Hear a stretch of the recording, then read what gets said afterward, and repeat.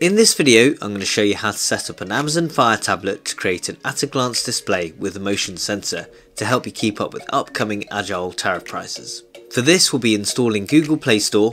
It sounds simple, but it isn't on Amazon's Fire tablets, and the Fully Kiosk app launcher to display the Octopus Watch app. If an Octopus Agile electricity monitoring app isn't relevant to you, you can apply the same principles in this video to any other Google Play Store app. For example, this Tado app for my smart heating system. Interested? Let's check it out.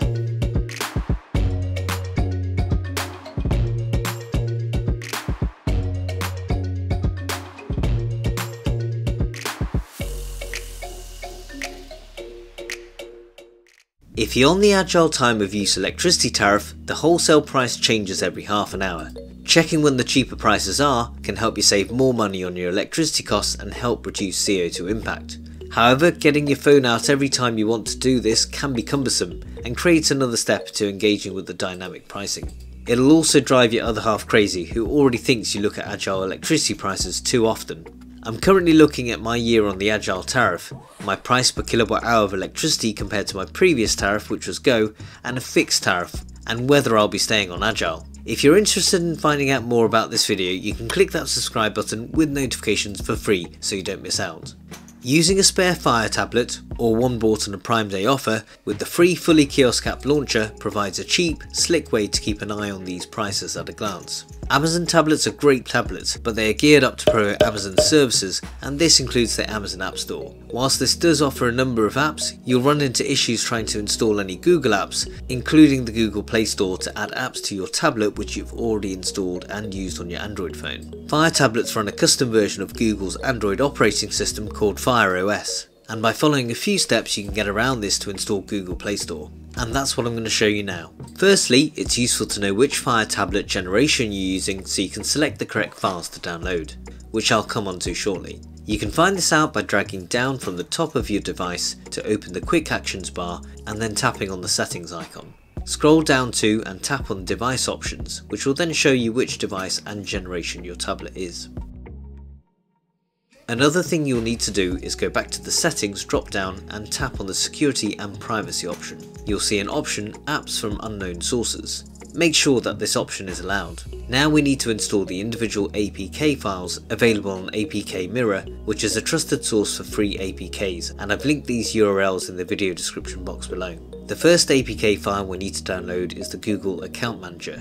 If you're using a Fire HD8 purchased after October 2018, a Fire 7 purchased after 2019, or a Fire HD10 purchased in or after 2019, your tablet will be running Android 6 or above. The link you'll want to click on is 1A in the video description. If you're running a tablet purchased prior to these dates, your tablet is still using Android 5. The link you'll want to click on is 1B. Once you've clicked on the APK link relevant to you, download it in your device by tapping on the download APK button. Don't worry too much if you've downloaded the wrong version. You can always update the app after installing Google Play Store later. A download notification will appear at the bottom of your display. Tap OK to begin the download. Once the download is complete, you'll see a tick in your notification tray in the top left hand corner. For the moment, don't open this or any of the downloads, but leave the notifications untouched in your tray. Next, we need to download Google Services Framework by tapping on the number 2 link in the video description, and again tap on the download APK button. Thirdly, we need to download the Google Play services. If you bought your Fire 7, Fire HD8 or Fire HD10 tablet after June 2019, you'll be using a device with a 64-bit processor, so you'll want to tap on the link under 3A in the video description. If you have a Fire 7 tablet bought prior to June 2019, in other words an 8th generation device or older, you'll need the link under 3B. Finally, we'll need to download Google Play Store itself, and you can do this by tapping on the number 4 link and downloading the latest version of the file. Once you've downloaded all 4 APK files, you'll be able to see them listed in your notifications bar in time order by swiping down. How you install these files is very important, so start by tapping on the notification at the bottom of the list. The installation process will begin, and tap install at the bottom right of the screen to continue. Once installed, tap Done rather than Open. Repeat the process for the other notifications moving up the list in time order. Once all four files have been installed on your tablet, you'll need to complete the process by restarting your Fire tablet by holding down the power button and tapping restart. When your Fire tablet has restarted, you should be able to see the Google Play Store app now available on your home screen. Tap on this and follow the prompts to enter your Google account details. Once set up, you'll then be able to install your chosen Agile app. I've chosen to use Octopus Watch app. You'll need to enter your API login details again here.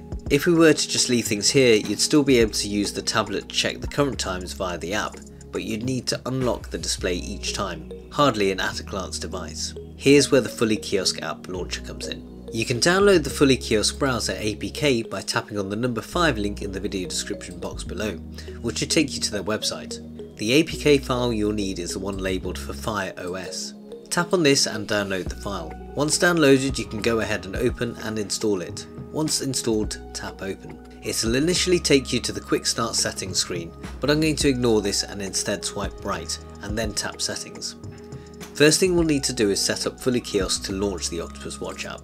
To do this, tap on Universal Launcher and then toggle Show Launcher on Start. Next, tap on the Select Items to Show, add Application in the bottom left hand corner, and then select Octopus Watch app and tap OK. Go back and next we're going to set up the screensaver to prevent burn-in. Tap on Screensaver Plus and then Screensaver Timer. I tend to leave this at around 10 seconds. But hang on a minute, I said it was going to be an at-a-glance device. For that we need to set up motion detection, so you don't even need to touch your device to find out the current and next few upcoming prices. To do this, go back, scroll down and tap on Motion Detection Plus, and then toggle the Enable Visual Motion Detection to On. The other options I like to toggle on are Pause when fully in background, Turn screen on on motion, and Exit screensaver on motion. Lastly, I'm going to go to the power settings and set a wake up and sleep time again to prevent burn-in. And hey, the fact that I'm even setting this up means I care about my electricity use. It doesn't need to be on when we're asleep. I'm going to select 6am and midnight for the wake up and sleep times respectively. It will prompt you to allow Fully Kiosk to have some additional permissions for it to work properly. You can now go back to the Fully Kiosk home screen, open up the Octopus Watch app and position your tablet in an easy to see useful location. I find a device stand helpful but you can always choose to mount it on the wall if you prefer. Depending on the location of your power connector, you'll need to change the orientation of the screen in Fully Kiosk. You can do this in the settings by tapping on device management and then screen orientation. For my tablet I'm going to select reverse portrait, then tap on full screen orientation globally. Now an extra bonus feature which may help you get away with leaving a tablet out on display with the other half is to replace the boring blank screen with your most memorable pictures and the first time you fell in love with Agile being paid to use electricity. To do this go to settings in the Fully Kiosk app and tap on Screensaver Plus, Screensaver Playlist and then select the files or folder you want to use as your screensaver.